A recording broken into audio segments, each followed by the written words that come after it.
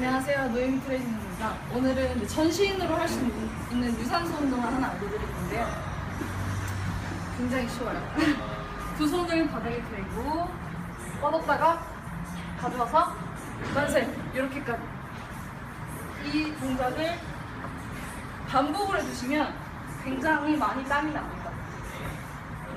이렇게 이 동작을 방금 했던 동작을 10번씩 그리고 이제 쉬는 시간을 조금 줄이는 거예요. 이거를 10번 하고 20초 쉬고 10번 하고 20초 쉬고 보통 5세트를 많이 권하- 권장하거든요. 그렇게 하시면은 간단한 동작으로도 땀이 많이 나는 운동을 하실 수 있습니다. 네, 알겠습니다. 네, 네, 양원동입니다. 네, 여러분.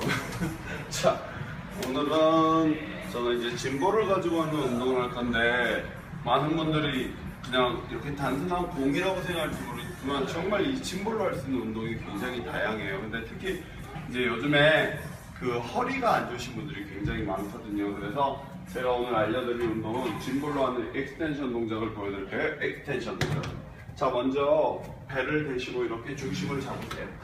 자, 이 상태에서 몸의 중심을 최대한 잡으시고 어, 발을 이렇게 붙여서 올리는 거랑 다리를 벌려서 올리는 거랑 운동되는 부위가 좀 달라요. 그래서 어, 먼저 다리를 붙이고 하나, 예를 들어서 중심은 잡으셔야 되니까 하나, 둘, 셋, 다시 다리를 벌리고 하나, 둘, 셋 이렇게 교차로 10에서 15회 정도 4세트만 하시면 고민거리 허벅지 깃살과 엉덩이 처진 엉덩이를 올릴 수 있을 겁니다.